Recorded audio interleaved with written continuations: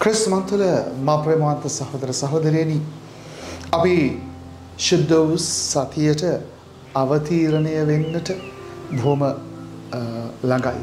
අපි ශුද්ධ වූ සතියේ පර්යන්තයේ ඉන්නේ. අපි ශුද්ධ වූ සතියේ පර්යන්තයේ ඉඳගෙන අද වචනය වෙතට හැරෙනකොට වචනය තුළ අපිට පැහැදිලිව ප්‍රකාශ වෙනවා. දෙවියන් වහන්සේගේ අරමුණ. දෙවියන් වහන්සේගේ මේ ගැලවීමේ අරමුණ මිනිස්සුන්ව විස්තරවන්නට නෙමෙයි. නමුත් මිනිස්සුන්ව එකතු කරන්නට. යළි ගොඩනගන්නට. මේ දේව රාජ්‍යයේ උදාව සනිටුවන් කරන්නට. මේ දේව රාජ්‍යයේ උදාව උන්වහන්සේ ස්ථීර කරන්නට මනුෂ්‍ය තුළ. හැබැයි ඒයට උන්වහන්සේ තෝරගත්ත මාර්ගය අපිට හිතාගන්නටවත් බෑ. දෙවියන් වහන්සේගේ සැලැස්ම කැමැත්ත ඇත්තටම සැලැස්මට වඩා කැමැත්ත ජෙසුස් වහන්සේ කුරුසේ ඇනගැසීම නෙමෙයි ප්‍රමාතය.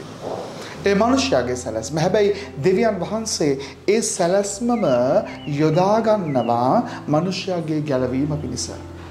මොකද දෙවියන් වහන්සේ බොහොම පැහැදිලිව දැනගෙන ඉන්නවා.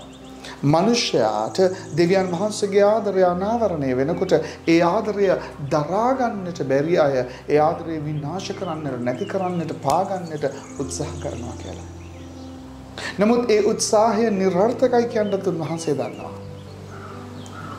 නමුත් මෙත්තාවකාලිකව මෙ නිරර්ථක බව අවබෝධ කරන්නට මේ මාර්ගය තෝරගන්නටම සිද්ධ වෙනවා. ප්‍රබන්තිනි අපේ ජීවිතවලත් එහෙමමයි. දෙවාදරය අපේ ජීවිතය අනාවරණය වෙනකොට අපිටත් මේ මාර්ගය ඔස්සේම සමහර විට යන්න සිද්ධ වෙනවා. මේ මාර්ගය තුළ ක්‍රියාත්මක වෙන්නට සිද්ධ වෙනවා. මේ මාර්ගය අවබෝධ කරගන්නට සිද්ධ වෙනවා.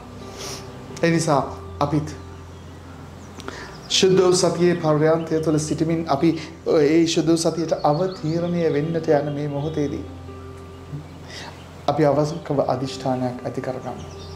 දෙවියන් වහන්සේ අපිව ගොඩ නගන්නට අපිව එකමුතු කරන්නට අපිව බලවත් කරන්නට නැවත වතාවක් අපි තුළ උන්වහන්සේ මහා දැවන්ත වූ ප්‍රේමය මෙහෙයක් දියත් කරන්නට ඒ ප්‍රේමේ රාජ්‍ය ගොඩ නගන්නට උන්වහන්සේ උන්වහන්සේම අපිට ඔබට මට දෙනකොට එය අපි ගොඩ නගන්නට ඉදිරිපත් වෙන ජනතාවක් බවට පත්වෙමු.